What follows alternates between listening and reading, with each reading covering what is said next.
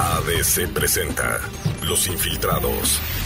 Nuestra red de infiltrados informa que, dicen que hay políticos populistas y populacheros, que con el afán de salir en los medios de comunicación, tienen ideas que no van más allá de simples ocurrencias, como la del diputado local, Héctor García, quien propuso en el Congreso que por ley, se otorguen uniformes a todos los estudiantes de Nuevo León. Afirman los infiltrados que aunque la ocurrencia, puede ser bien vista por el ciudadano por ser populista, en la realidad no hay presupuesto, ni estudio financiero previo para llevar a cabo un gasto millonario en una campaña de uniformar a los escolares de todo el estado. Héctor García es presidente de la Comisión de Legislación del Congreso, dirigente del Sindicato de Burócratas de Guadalupe, líder de la CNOP en ese municipio y busca también contender por la candidatura priista a la alcaldía guadalupense. Tal vez por tantos cargos las ideas se convierten en ocurrencias, sugieren los informantes. ABC presentó Los Infiltrados.